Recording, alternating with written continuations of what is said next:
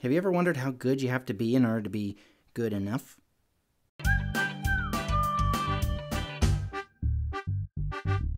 Hey guys, it's me again, Douglas. And hey, have you ever have you ever felt like no matter how hard you try, no matter what you do, you're just not good enough?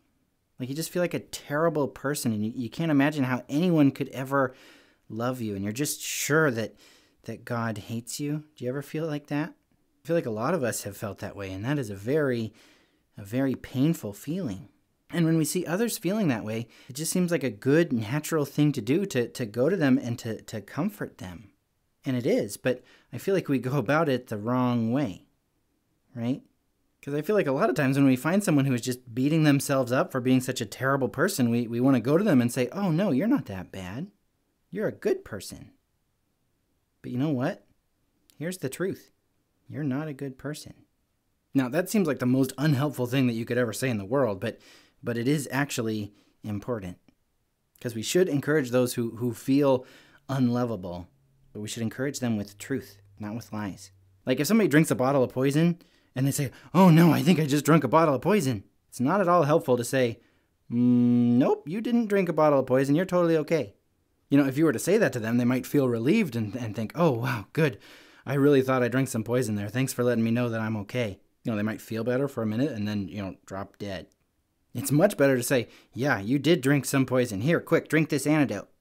The helpful truth is that even though we have sinned, even though we're not good people, God loves us anyways. It doesn't matter who you are, it doesn't matter what you've done or are currently doing, God loves you. And He sent His one and only Son, Jesus, to die for you. And He didn't do that because you're perfect. He did it because you're not perfect. See, the Bible says that the penalty for sin is death. And that death is is eternal death, an eternity apart from God. That's that's hell. Now, I don't use that word lightly because that's a bad word, but hell is a is a place, a bad place that we do not want to go, but we all deserve to go because of our sin. Sin is anytime we do something wrong, anytime we do something that we shouldn't do. And we all, everyone except for Jesus, sin. You know, there was this time in the Bible where where a, a man asked Jesus a question. He said, Good teacher, what must I do to inherit eternal life? And Jesus started by responding, Why do you call me good? No one is good except God alone. Now, Jesus wasn't telling the man not to call him good because Jesus is God. Jesus is and was and will always be good. But the rest of us, Mm-mm. even if we think we're good people, we're not. We've sinned. We do sin. But God showed his own love for us in that while we were still sinners, Christ died for us. You see, the penalty for sin is death, but God so loved the world, and that includes you. Again, no matter what you've done, no matter who you are, no matter what you're doing, God loved you so much that he sent his one and only Son, Jesus, so that whoever believes in him will not perish, but have eternal life. You are not good enough for God's love, but He loves you anyways. And you are not good enough to get into heaven. But if you believe in Jesus Christ as your Savior, you will have eternal life. Not because you do what's right, but because Jesus does what's right. And Jesus sacrificed Himself for you. Satan always takes what is true and twists it up into something rotten and terrible and false. And so Satan wants you to believe that if you have sinned, if you are messed up, if you are not a good person, then God hates you. And it's not true. It is true that you've sinned. It is true that you've done what's wrong. It is true that you are not a good person. But it is a lie straight from Satan to believe that God doesn't love you because of that, or that God could never forgive you because of what you've done. And if Satan can't get you to believe that you're terrible and awful and, and no one should ever love you, then he's going to get you to believe that you're like perfect, right? Nothing is wrong with you at all, that you are a good person. He'll try to convince you that any bad stuff that you have done or are doing is good and that you don't need forgiveness because you do good things. You are a good person. Even if you do a wrong thing here or there, you're still a, you know, mostly a good person. And I feel like a lot of people fall into that trap as well. You need Jesus. The Bible very clearly explains what sin is, what's right and what's wrong. And even in our own hearts, we can know what's right and wrong, even if we try to silence that voice. And if Satan can't convince you that you are terrible, awful scum of the earth and God will never love you, then he's going to try to convince you that, that what the Bible says is good and bad doesn't really apply to you.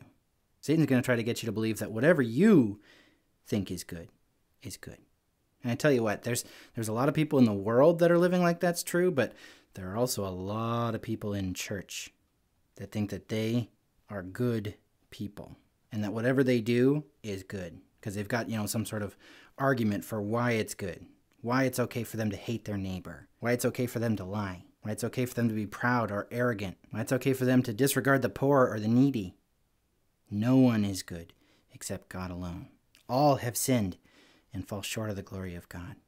But if you believe in Jesus Christ, then you will be saved from the eternal consequences of your sin.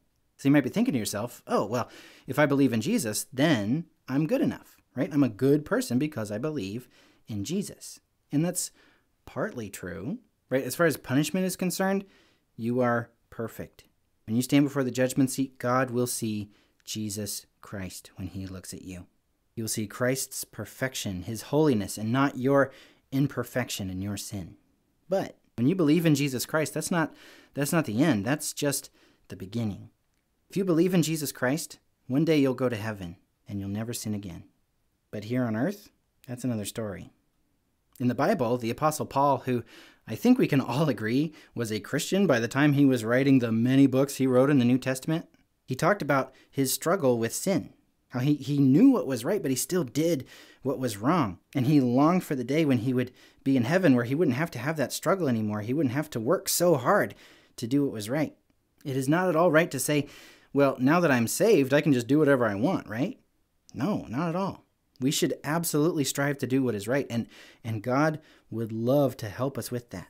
God wants us to be the best version of ourselves that we can be, here and now, on earth, not just in heaven.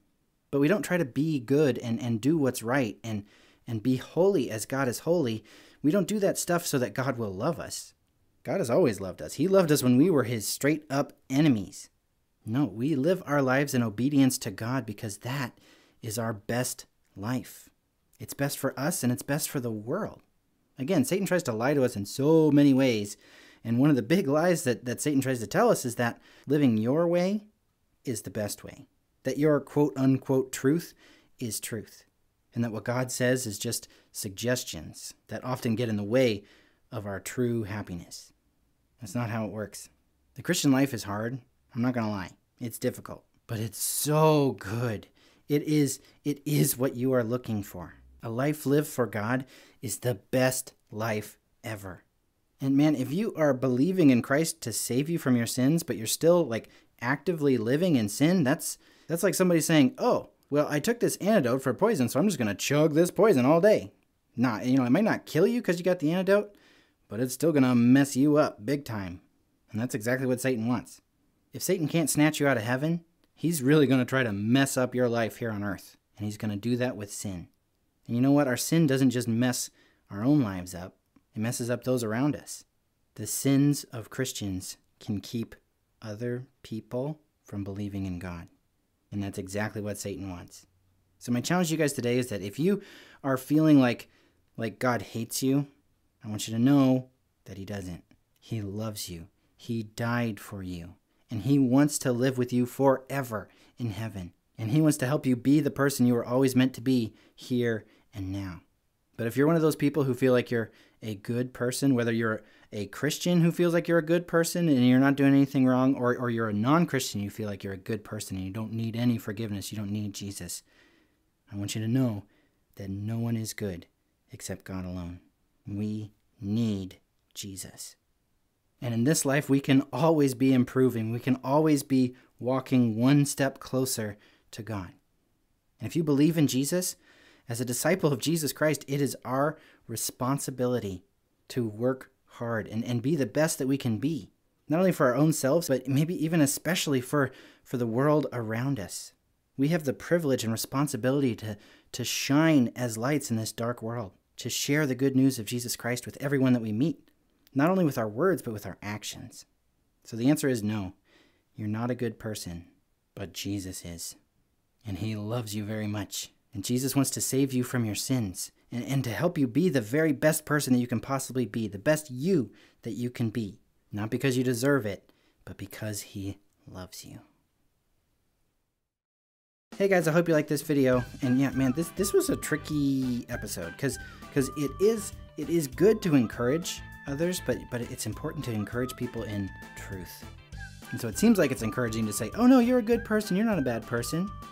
Seems like a nice, good thing to do to tell everyone that there's nothing wrong with them. To say you are enough. But we're not enough.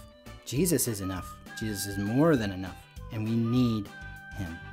And so I really hope that you will will share the good news of Jesus Christ in a way that is that is helpful to people.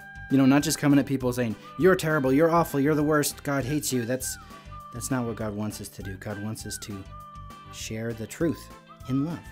Yeah, we all sin. We're not good people, but God loves us anyways. So much to send his son Jesus to die for our sins so that we could live forever with him in heaven and so that here on earth we could be the best versions of ourselves that we could be.